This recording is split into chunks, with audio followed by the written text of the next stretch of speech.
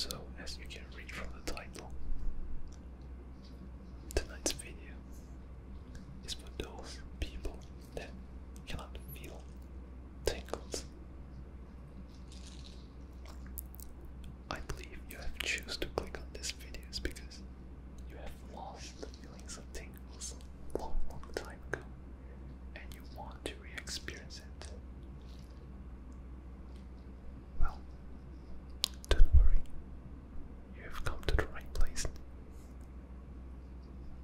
tonight.